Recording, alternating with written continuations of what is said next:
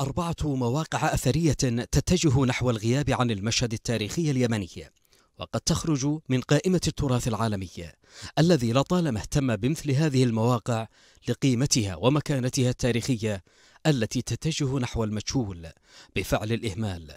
توالت تحذيرات منظمة الأمم المتحدة للتربية والعلم والثقافة يونسكو بأن هذه المواقع لا تزال معرضة للخطر الشديد بسبب الصراع المستمر والكوارث الطبيعية والحرب المستعرة التي ما إن هدأت حتى أشعلتها الميليشيا الحوثية من جديد.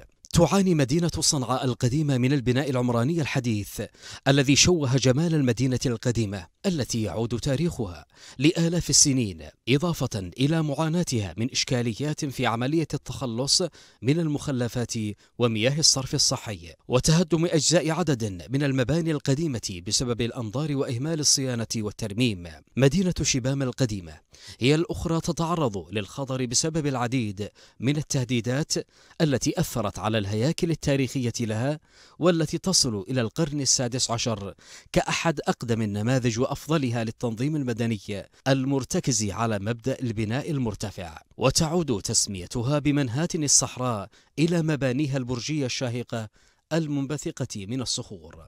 أما مدينة زبيد المصنفة على قائمة التراث العالمي عام 1998 وكانت مركزا إسلاميا ساهم في إثراء المكتبة الإسلامية والعربية بمئات المؤلفات لأشهر علماء العصر تحاصرها المخاطر من كل جانب الأنظار والمواجهات العسكرية والإهمال لتكون ضمن المدن المعرضة للخطر والشطب من قائمة التراث العالمي.